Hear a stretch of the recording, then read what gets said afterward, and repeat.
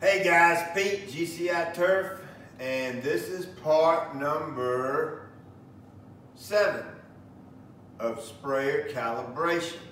And what we're gonna go over today is spot spraying. Now, uh, all right, so I know you've seen this before, or you may have done it.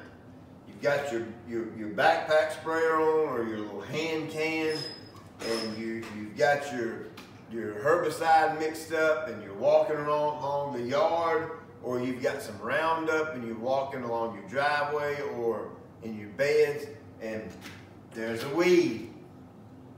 I need to spray this product on that weed so that weed will go away, right? So, uh,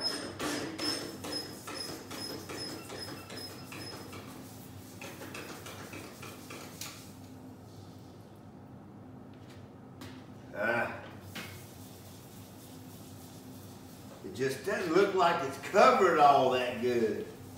Yeah, let's put some more on it. That'll work. More is always better. Yeah. Let's give it some. Let's really give it to it. Die, weed, die. Hey, so I know you've seen that before, right? Or you may have even done it. Well, it may be not quite that drastic, but I'm trying to get a point across that that's not the right way to do this. We call it spot spraying because you're spraying a spot, a small area uh, that you, you may be you may be walking along the yard or walking along the driveway, you see something, you stop, you might give it a couple of pumps, and then you spray it like so. It's, it's not the drowning game. We're only trying to get X amount of product on that wheat. Now let me define spot sprayer first.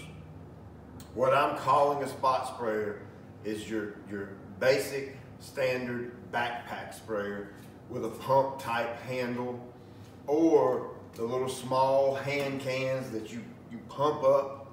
I call those spot sprayer because our maintenance crews use them with glyphosate Roundup, and after they're mowing the yard and they're edging and they're blowing and cleaning up, they go around and they spray the cracks in the driveway and spray the uh, natural areas, pine needle areas for weeds and things like that coming up. And then also our fertilization technicians, our spray technicians, uh, during certain times of the year will carry these because the, because weeds are very minimal during certain times of the year. And that way we don't have to waste a lot of product and put it in our big tank and blanket out a whole entire yard just to kill one weed. So we spot spray them. So that's my definition of a spot sprayer. Um, so let's uh, let me show you how I calibrate this. Okay, so what I'm gonna do first is I'm gonna start uh, on an even scale. And what I mean by that is I'm going to relieve all the pressure out of my backpack because I don't know how many times I pumped it up last time, the time before, whatever. I don't know who used it before, so I'm gonna start even keel, relieve all the pressure out of my sprayer. I'm gonna fill it up with about halfway full of water, a gallon of water, whatever. Doesn't take much to calibrate one of these. And then I'm gonna begin pumping until I get a desired spray pattern. Uh, now, of course, I have to pick my height for my spray nozzle. We learned about that in the previous video. The, the height determines the width. And so you can see here, if, I, if I'm up high, I get a wider pattern. If I'm down low, I get a more narrow pattern. Well, for spot spraying, little individual weeds and cracks in driveway, I'm gonna go with the narrow pattern. So uh, let me get my little handy dandy tape measure here out. And this is about six inches. And about six inches is all I'm looking for. I'm, I'm only wanting, let's see, at six inches high, that puts us about five inches wide, six inches wide, roughly. So that, that's plenty good enough for me uh, when it comes to spot spraying a weed. So I don't want to over pressurize these tanks. I don't, because that's where you get into drift and you start creating too much pressure behind the spray tip and, and you get those little tiny microscopic drops of water that go all over the place and we don't want to kill Miss Jones's award-winning rose bush, right? So I'm gonna pump it up to where I get uh, enough pressure to where it actually creates that fan pattern. So if you'll notice here, I'm letting, I'm not pumping it and I'm letting the pressure go down on its own and you can see the spray pattern just keeps getting more narrow and more narrow. It's because it doesn't have any force behind it. So now I have to pump it up and you can see the more I pump it, the wider it gets because I'm putting more pressure behind it. Okay?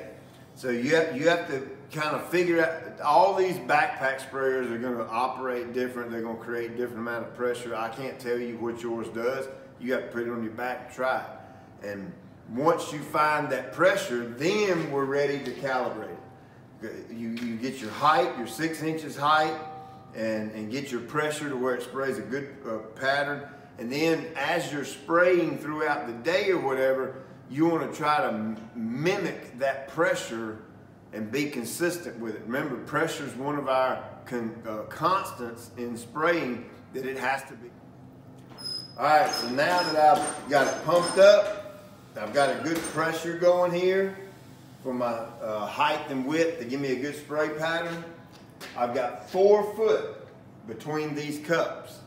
And I'm, I'm gonna make me a, a pass through here just like this. And I'm gonna count it, I'm gonna time it to see how long it takes me to spray that four foot.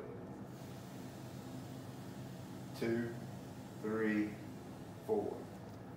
All right, four seconds. So now we need to do our math. We're 48 inches wide, or, or excuse me, we're 48 inches long. Remember, four feet, 12 inches in a foot, four them 12 is 48. 48 inches long, six inches wide, that equals 288 square inches. Now, I don't want to confuse you because I've been talking square feet the whole series. But since this is such a small area and we're using low volume here spraying, we're going to work with inches right now and I'm to up that to feet in just a minute. 48 inches long, 6 inches wide, that's 288 square inches.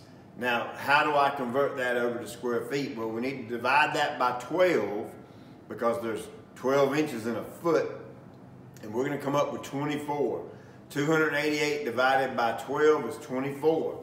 Then we take uh, the 24 inches and divide it by 12. That's 2. That's how I come up with 2 square feet.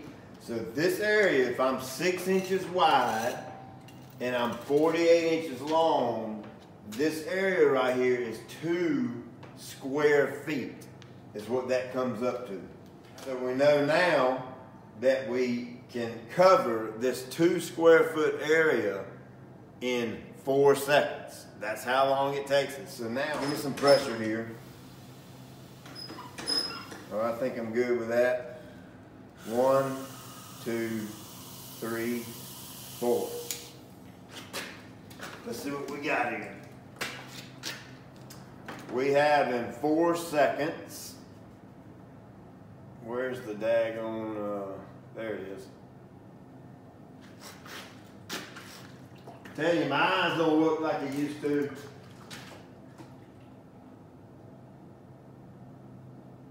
we have one ounce. I mean, that's that's bad, man. When I'm, I'm 43 years old, and uh, I, it's, it's I, am honestly, it's getting harder to read the, the little numbers on the side of these bottles, and I, I'm kind of embarrassed to say that, but I know it's a part of getting old. oh well. So I got one ounce. I put one ounce on two square feet of area. So let's go over here, let's get a piece of paper and a pen, let's do some math. And I'm telling you, that some of this stuff may be a little overwhelming to some of you, But once you do this and you practice it and you, you, you learn the basic concept of what I'm teaching here, it it becomes second nature to it. Now, obviously, I do this every single day. Now, I don't calibrate every day, but I deal in these type of numbers and square footages and length and width and speed and all that. I do it every day, so obviously it's going to be more natural to me. But if you just do it a little bit and practice it, I promise you, I'll give you my word that you will get better at it and it will become, uh, the more you do it, the more you get dialed in and the more you understand it, and you'll be like a light bulb will go off and bam, you just, you get it and you understand it. And then you can go show your neighbor or whoever, uh, and, and you'll just know how to do this uh, so much easier.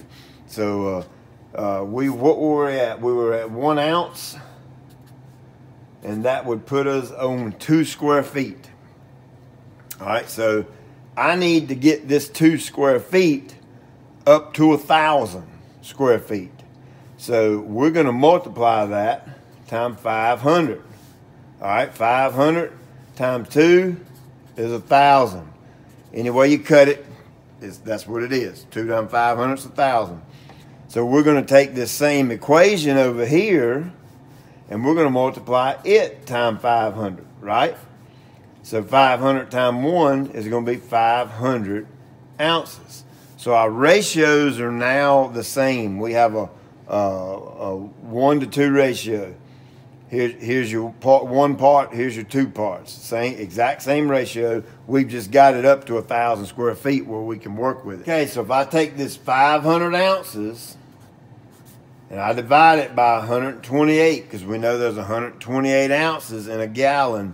I'm to get 3.9. So I can get 3.9 gallons covers 1,000 square feet. Here's the part you may or may not agree with me on. Either way it's fine with me. But this 3.9 gallons, the most backpack sprayers that, that we've had or we've bought are four gallon. This is so close. I'm just going to call this four gallons. Now, if you'll read the label on 99.999% of herbicides, they will give you a range. And, and that range, uh, uh, just for example, let's say it may be 0.75 ounce to 1.5 ounce per 1,000. Well, that's one of the reasons I believe there's many reasons that that range is there. Uh, sometimes a, a harder weed may need more product on it to control it, where a, a easier weed, uh, say something like a dandelion, may need less or whatever. So that's one reason that range is on there. But another reason is to get rid of this error right here or give you a, a, a more of a grace factor, I guess is the way you could look at it. A little bit of forgiveness in there. Because when you get down to calibrating these low volumes like this, sometimes you end up with a point something left over or, or, something along that lines. So that's why this is kind of forgiving. So we're going to call this four gallons will cover a thousand square feet with the backpack sprayers we have. So if you uh, broke that down by the gallon, of course you would divide the 1,000 by four and you would get 250 square feet. One gallon covers 250 All square right, so I hope that helped you. And uh, if you got any more questions or comments, leave them below. I'll put uh, a link to all the entire video series in the uh, description and like and subscribe, all that good stuff. Uh, and I'll keep on, keep the vids coming. Thank you.